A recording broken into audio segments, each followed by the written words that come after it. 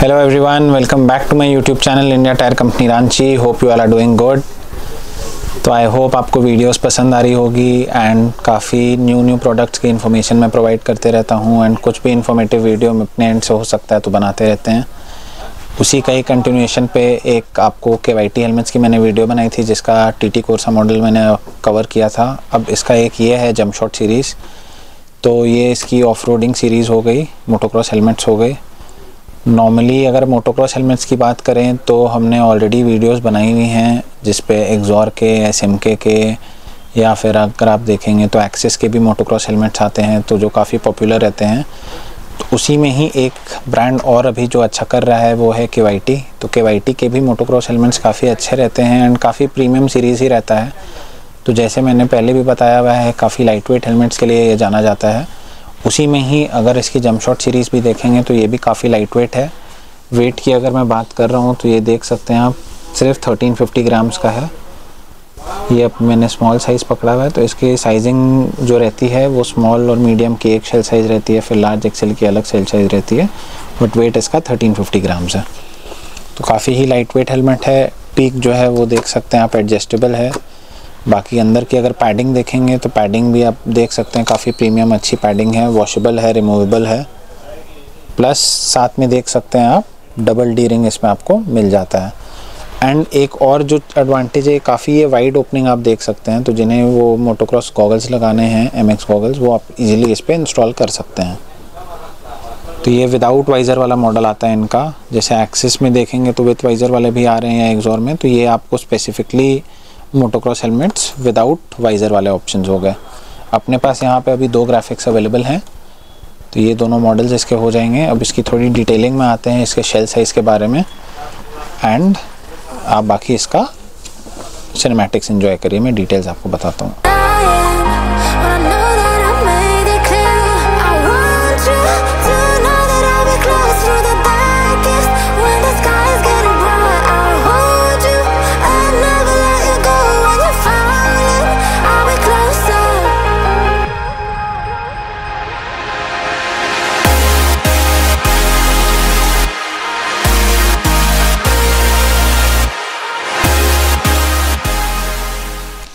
तो अब सर्टिफिकेशन की अगर हम बात करें तो यहाँ पे आप देख सकते हैं नॉर्मली तो कंपनी ने सिर्फ़ यहाँ पे आई का अप्रूवल दिया हुआ है। बट अगर हम लोग इसकी स्पेसिफिकेशन के ऊपर आएँ तो ये ई सी अप्रूव भी है डॉट अप्रूव भी है N B R C C C J I S सब सर्टिफिकेशन इसके अप्रूवल मिले हुए हैं इसे। बाकी अगर शेल की बात करें तो शेल भी इसका काफ़ी अच्छा है, काफ़ी लाइट वेट है एंड ये ट्राई फाइबर कॉम्पोजिशन से इसकी शेल बनी हुई है, जो कि नॉर्मली नॉर्मल शेल से काफ़ी हल्का रहता है।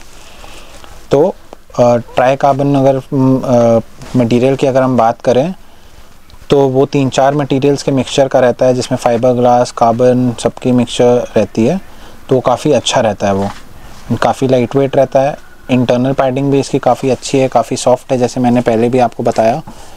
तो जिन्हें स्पेसिफिकली अगर एक आपको मोटोक्रॉस हेलमेट चाहिए ऑफ़ रोडिंग हेलमेट चाहिए है, वो लोग ये हेलमेट को ज़रूर कंसिडर कर सकते हैं।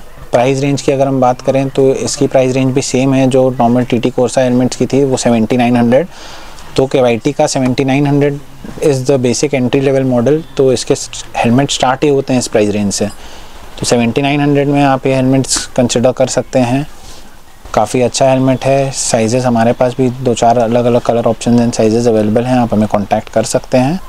बाकी इंस्टाग्राम यूट्यूब चैनल के बारे में आपको पता ही है तो वहाँ भी सब्सक्राइब कर लें फॉलो कर लें। डिटेल्स आपको वहाँ भी मिलती रहेगी।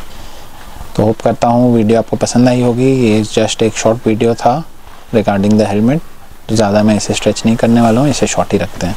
Thank you enjoy the video and stay tune for another update thank